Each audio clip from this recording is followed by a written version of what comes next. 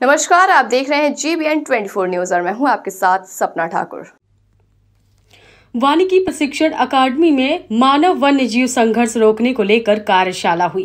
कार्यशाला के दौरान विशेषज्ञ ने पश्चिम बंगाल के रेंजर्स और उत्तराखंड के फॉरेस्ट गार्ड को जंगल भ्रमण और वन्य जीवों के मूवमेंट चिन्हित करने को लेकर टिप्स दिए। अकादमी के निदेशक डॉक्टर तेजस्विनी पाटिल ने बताया कि एफटीआई में पश्चिम बंगाल के 42 रेंजर और उत्तराखंड के 100 फॉरेस्ट गार्ड को ट्रेनिंग दी जा रही है।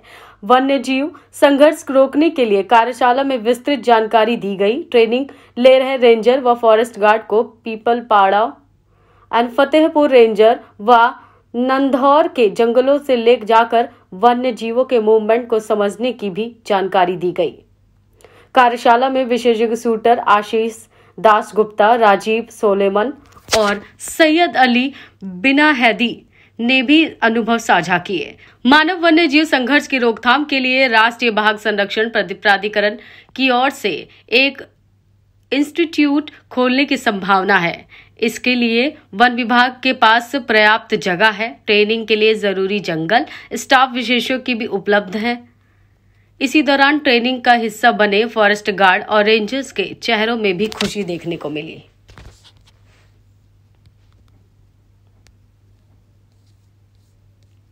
जीवन ट्वेंटी फोर के लिए हल्द्वानी से सचिन गुप्ता की रिपोर्ट।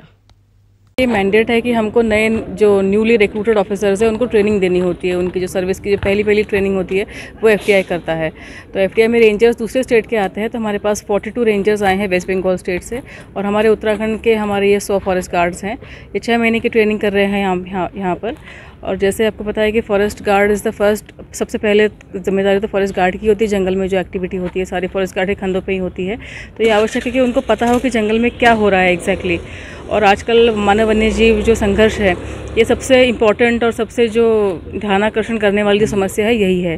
तो ये आवश्यक है कि हमारे नए फॉरेस्ट गार्ड जो उनको ये ट्रेनिंग हो कि एनिमल जो अगर जंगल में है, कोई प्रॉब्लम एनिमल है, कौन से टाइप के एनिमल है, कैसे पगमार्क्स देखे जाते हैं एनिमल को ट्रैक कैसे किया जाता है, ये बहुत बहुत फ़ील्ड वाली बहुत ही हैंड्स ऑन ट्रेनिंग की आवश्यकता होती है इसके लिए। बिल्कुल अनुभवी लोग इसके लिए चाहिए होते हैं जो उनको सिखा पाएँ कि कैसे एनिमल को ट्रैक करना होता है। तो हमने इस तरह के अनुभवी लोग हमने फिर ढूंढ निकाले हैं। जैसे आपको पता है कि आशीष दास गुप्ता सर जो है बहुत पुराने हैं इसमें। अभी वो ट्रैकिंग और ये सब सिखाते भी हैं। कौन कौन? और सैयद अली हैं जो ये भी ट्रैकर है बहुत अच्छे और ये अजीब सोलमन जी जो हैं ये भी एक अच्छे ट्रैकर है और ये पहले हंटिंग भी करते थे पर अभी नए एन टी गाइडलाइंस के बाद ये निश्चित हुआ है कि हंटिंग अगर कभी अपरिहार्य स्थिति में अगर करनी होगी तो उसमें सरकारी कर्मचारी ही करेंगे। तो इससे पहले हंटिंग से पहले तो एनिमल को ट्रैक करने की आवश्यकता है कौन सा एनिमल ये प्रॉब्लम कर रहा है उसको पहले ढूँढने की आवश्यकता है। तो इसके लिए सब ट्रेनिंग सबसे पहले ट्रेनिंग की आवश्यकता है। आपका नाम? तो जंगल में अगर चार जानवर हैं तो किस तरीके से हम जो जानवर दंगा कर रहा है उसकी पहचान करें और इनोसेंट जानवर को इग्नोर करें। ये चीज़ की ट्रेनिंग दे रहे हैं और यही चीज़ की ट्रेनिंग के लिए हम फतेहपुर ले जाने चाहते हैं क्योंकि वहाँ पर एक आदमखोर है बाकी तीन चार और नॉर्मल टाइगर्स हैं। आपका नाम? मेरा नाम आशीष दास गुप्ता है। से बहुत सारी सीख मिली है अभी हम न्यू हैं यहाँ पे बाकी सिक्स मंथें आ गई हमें सीखने को काफ़ी कुछ मिलेगा। अभी हम जंगल में गए थे आज भी फतेहपुर रेंज में आज हमने वहाँ पे कुछ पगमाग देखे टाइगर के। तो और हम पूरा देख के आए वहाँ पे कैसा है कैसे हंटिंग वहाँ पे हुई थी क्या हुआ था तो वहाँ फतेहपुर रेंज में गए थे। कोई बैच कहाँ से आया है आपका?